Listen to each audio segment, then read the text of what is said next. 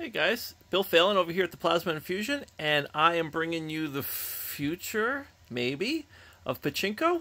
This is the Saint Seiya uh, Climax 349 Smart Pachinko. It is ballless-ish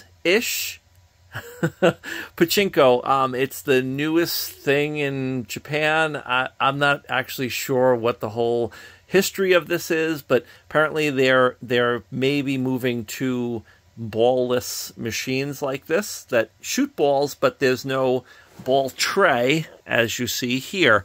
Um, so this is the first one we brought over because they're ridiculously overpriced currently uh, in the five to ten thousand dollar range, um, and our supplier was able to get us this one. So we brought it over to uh, check it out, play with it, figure it out, and uh, present it to you guys here. Um, very cool machine. Uh, it's interesting that it uses balls, but it doesn't use balls. You have to load the balls into it.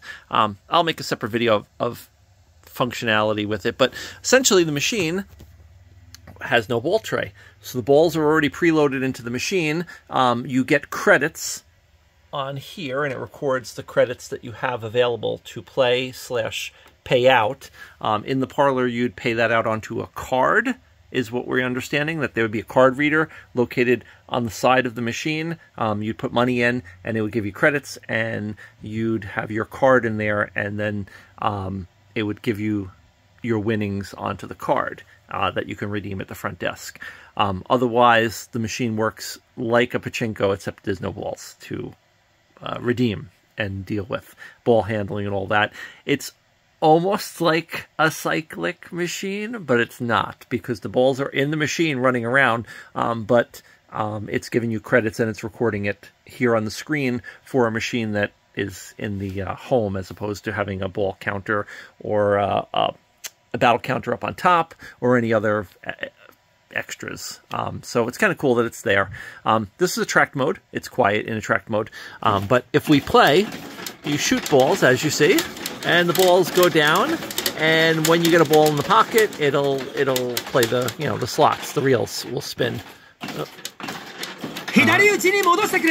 that means that I sent the balls to the right side when I wasn't supposed to. Sorry. So we got a ball in. It recorded a um, it's recording whole shot or credits that I'm losing. But if I get one in, you'll see it'll bounce up It'll bounce up just like that, and it'll show that I got a ball in, like that again. Um, it's spin the wheels. I have yet to reach a fever, but again, this is uh, just opened and set up.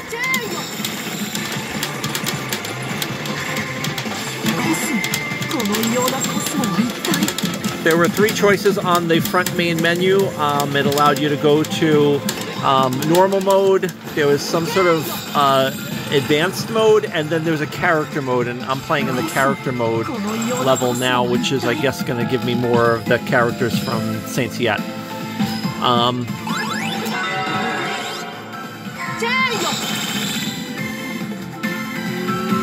reach, maybe? Very cool. And we hit a reach for our video.